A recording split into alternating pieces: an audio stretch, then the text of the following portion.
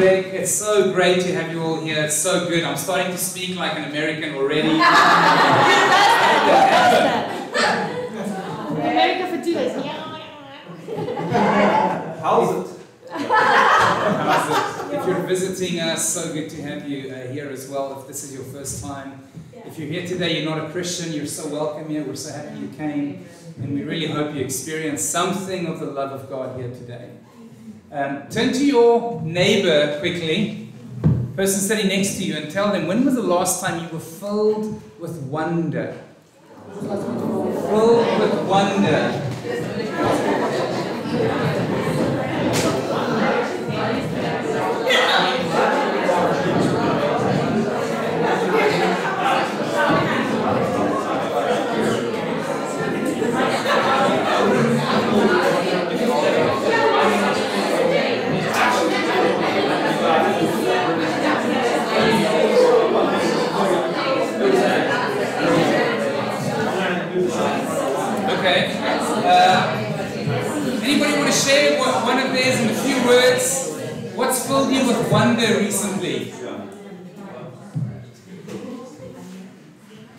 Anybody want to share, just in a couple of Come words? on. What's filled you with girls. wonder? Share, girls. When did we lose the wonder? Have we lost the wonder? No. What's been filling you with wonder? Mike mentioned that. Is this a sermon? It's going to be a sermon, Mike? No, Mike's good. I can say it now because all my kids are. I, my kids. Your kids? My kids. It's just to, just to see them doing stuff and interacting and being together and being awesome. Wow. I am, I am struck by wonder when I watch my kids. Yes. Struck by wonder when he watches his kids. Got a roving mic here. airplane and seeing the clouds from above them. In Berkeley now, for the first time. I was filled with wonder when a team of 23 people traveled for 36 hours to get to Cardiff. That's incredible. Come on, that's really filled us with wonder. Um, and we're so thankful that you guys came, that you made the effort. Really, I mean, just day one was powerful already, it was so strong. Um, I listened to a song, I heard a song for the first time a few years ago, and it's called The Wonder in the Wild. The Wonder in the Wild. And, and the, one of the lyrics goes, You fill the world with wonder. You put wonder in the wild. And it just gripped me. That line about wonder, wonder in the wild. And I did a bit of research about it. I was like, what is this song about? And it's a guy called Joel Houston from a band, uh, Hillsong United, that wrote this song. Um, and in an interview, he says this uh, about that song. I was watching the news, getting caught up in everything happening everywhere the tragedy, the despair, and sometimes we can get caught up in it all. And there's my son running around just wanting to be Batman. I was challenged and inspired at the same time. When did we lose the wonder? Right? Are we still filled with wonder? There's so many wonderful things in the world. Babies being born, and beautiful scenery, trees, stunning trees. All how many different colors can we see out there? Old, even old, beautiful buildings. Amazing people, precious people sitting right next to us today. There's so many wonderful things in the world. But the tragedy is that, that many of the things, the, the challenges, the, the wars, the difficulty, they, they, they encroach on us. They take over our emotions and our thoughts and our hearts and our minds, right? Like it's a little bit of a wilderness that we live in. I love what we were singing about spirit break in. You know, the whole universe declares the glory of God. And, and in some ways, our world, our little planet, has become a bit of a wilderness, but the wonder of God is breaking into this wilderness. We can, we, can, we can see, we can find wonder in this crazy world that we live in when we look through the, through the eyes of Jesus, when we look at what Jesus gives us. He gives us faith, right? He gives us hope, He gives us joy, He gives us peace. We're going to read that a little bit today. This is one of my favorite accounts in the scripture. Um, makes for great Sunday school material. Okay, one of the, one of the classics. Got that Sunday school vibe. uh, to it. But at the end of it, at the end of the account, it says that they were all amazed, saying, We have never seen anything like this. This is God. This is the wonder of God. When God breaks into our lives, uh, when we make room for Him, when we even just look to Him instead of looking to the world and all the brokenness in the wilderness and in the wild of the world, the wonder of God fills our hearts. And we can say, Wow, we've never seen anything like this. We can be amazed. And by the way, this is not just a story, a Bible story. This is not just a Sunday school story, but this is a real account of a real event that happened. You know, these accounts uh, in the scripture, the eyewitness accounts of the life of Jesus, is some of the most reliable literature that mankind has in its possession. This is not just some fairy tale. Okay, sometimes we hear people discredit that the art's been changed over the years and all these things have happened to it. But if you do a little bit of research about the Bible, there is nothing like it. There is no historic document that has been as accurately reproduced Yeah. as the Bible. This is not just some story, this is a real account in history. And what God does here, or does here, He wants to do here. He Yeah. does here as well. So if you have a Bible, please turn there to Mark chapter 2. Mark chapter 2. I'm just going to read the first 12 verses.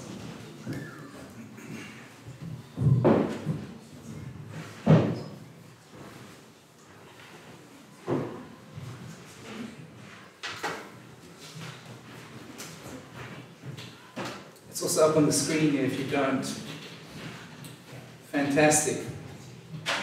Mark chapter 2. And when he, this is Jesus, returned to Capernaum after some days, it was reported that he was at home.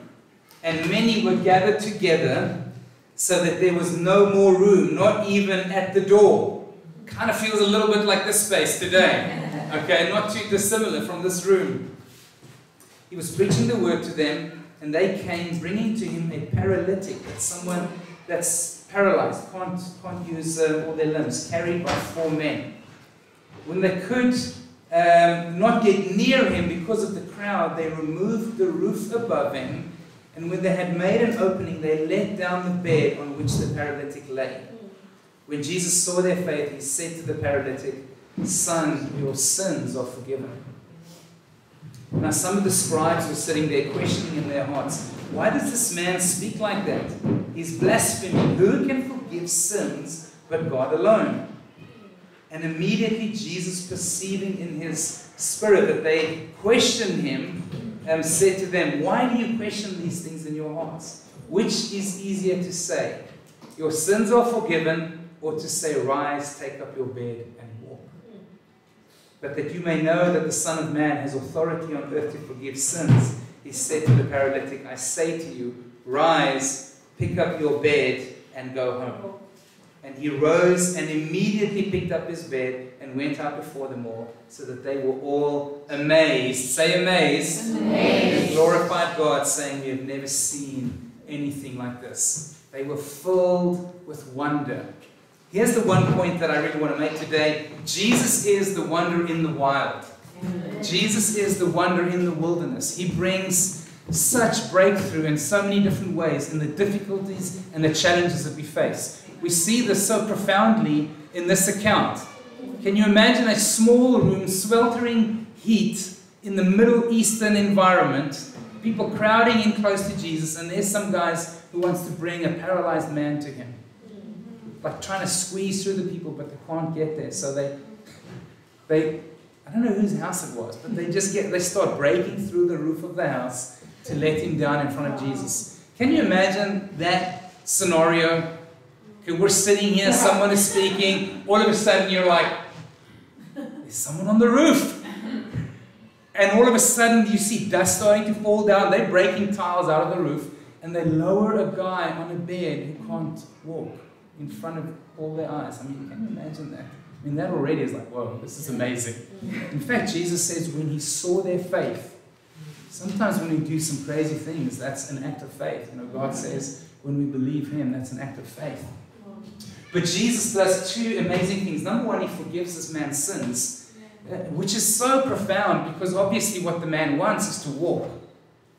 That's what he thinks he wants. But Jesus first and foremost says to him, Your sins are forgiven. And then the religious folk, they get all bent out of shape, like, who is this guy that he can forgive sin? And it's important for us to understand that Jesus had authority for sin because he would be the one to conquer sin. He would be the one to ultimately die on a cross to pay the debt of sin of mankind, of you and I.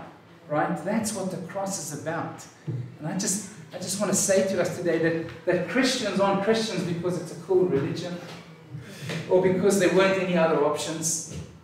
Okay, Christians are, are Christians because of Christ.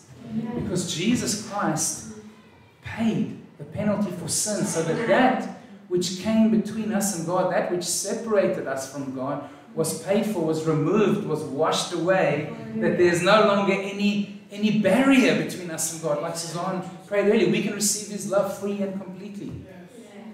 And it's a bit of a mystery.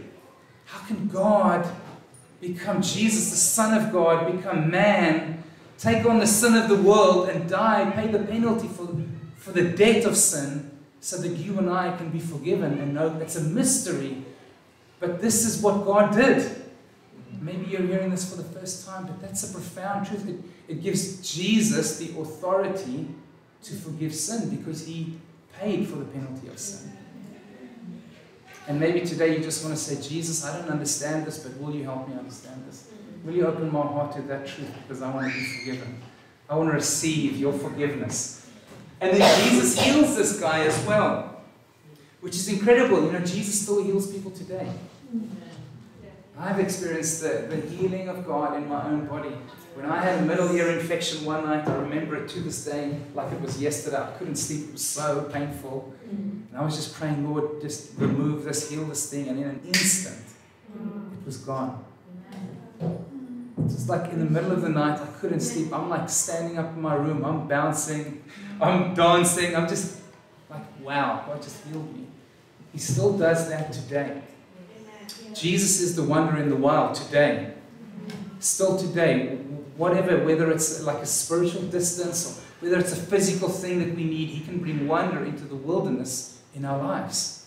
And I just wanted to say these two things to us quickly before I pray for us and we eat some pizza. Hallelujah. As Jesus is the wonder in my wild, in, in my wilderness. Like he cares about me. He cares about the stuff in my life. This guy that they that they carried in on a mat, he was important to he interrupted his meeting for this guy. And Jesus does the same for us. You and I, we are of utter importance to him. You know, I have a friend, a guy called Marcin. In fact, Marcin was the guy that first brought me to Wales. Yeah. The first time I ever came to Wales was with this Polish friend called Marcin. Marcin was homeless when he lived in Poland. Didn't have, a, didn't have a house, didn't have a home. In fact, he had become an enforcer for the drug dealers. Big guy, strong guy. Um, and if they needed someone to pay them back, they'd get Marcin on the job. And he'd run after people and he'd beat them up. I'm not even kidding. Okay, that was how he made some money to buy food and whatnot. Alcohol. Food and alcohol. Um, and one day people came up to him and said to him, uh, You know, God loves you. Jesus died for you. Gave him a Bible. And he took that Bible and he threw it at them and he walked away. But that night, God encountered him. He was living, he said it was, it was like a, an abandoned room in some building. It was full of bottles. That's where he, he was in that room and God encountered him that night. Awesome. Changed his life forever moved to the United Kingdom. Actually, he met one of the girls that was doing the outreach, part of the outreach team that gave the Bible to him. He married that girl. Good news. Good news. He got, he got a couple of kids. They lived in Slough, where we used to live for 12 years. His son is just finishing university in Bristol. Oh, I mean, the wonder in this guy's wilderness is just incredible. How Jesus turned around the wilderness of his life hmm. and filled it with wonder. Isn't that powerful? How many more stories could we tell of how Jesus is the wonder in my world and how wild? Like I've got my own story. I know you've got your own story. But, but the second thing is, Jesus also makes me the wonder in the world. He uses me to become the wonder in someone else's wilderness, right? To step into their lives, to be that woman that he ended up marrying, and to speak to him and say, hey, God loves you. And he uses us, and, and we've just seen so many incredible. We have a, a friend in now from Uganda. She had cancer, and, um, and she was close to dying and she recovered and it was amazing. God protected her. And she, while she was in the hospital, she was thinking, what about my family, my friends in Uganda? Those that have cancer, how do they go through this? What facilities do they have? What care do they have? And so she went. As soon as she was well enough, she flew to Uganda, she flew to Kampala, um, and she went to the hospitals and she saw guys, she saw people lying outside of the hospital because there are no hospital beds their children stay out of school to cook meals for them.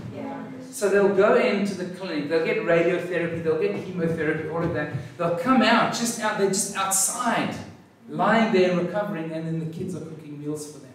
It is heartbreaking. I've seen it with my own eyes. This woman is like, no way. Jesus, we've got to do something. And she starts an organization, NGO, called the Patient Relief Mission. Wow. And she opens a hostel for women, cancer patients.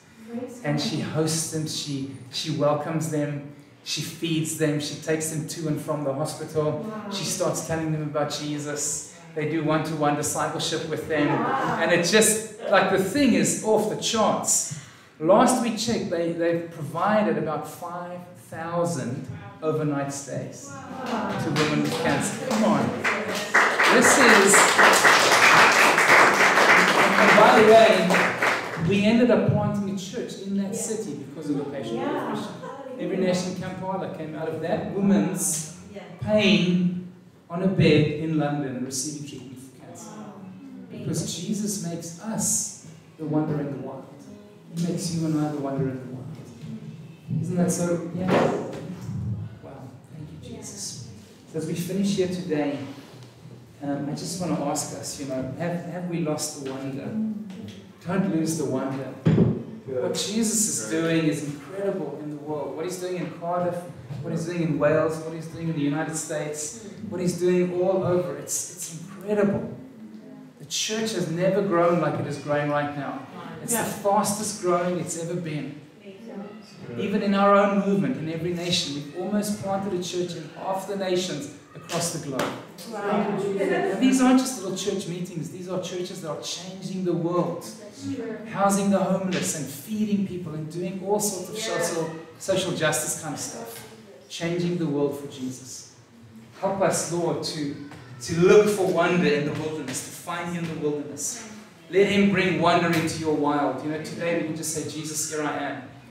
Here's my wild, here's my wilderness. Will you fill it with wonder again? Will you bring hope to me again? Will you bring joy and peace to me again?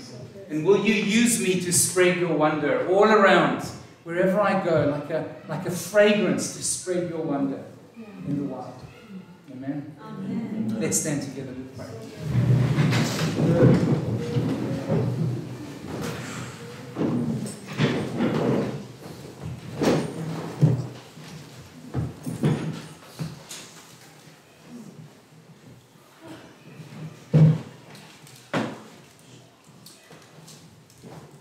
Father, we thank you for your presence.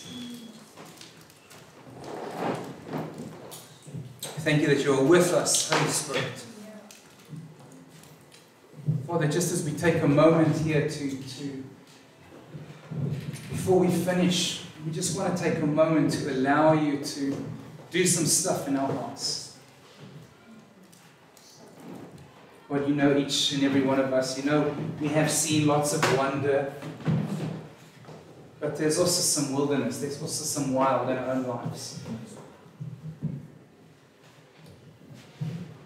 I just feel some of us there's family in, in family in, in um, not distant, quite close family that's really struggling. That there's some serious wild, some serious wilderness going on, and I just feel the Spirit would say, "I'm bringing wonder to those situations. I'm releasing wonder into those situations. I'm bringing wonder into wild. I'm bringing life to it. I'm bringing breakthrough. Whatever situation it is, just just release that to Him. Just just mention that to Him. Bring it to Him. Say, Lord, here, here it is. Here's my wilderness. Spirit break in, heaven break in.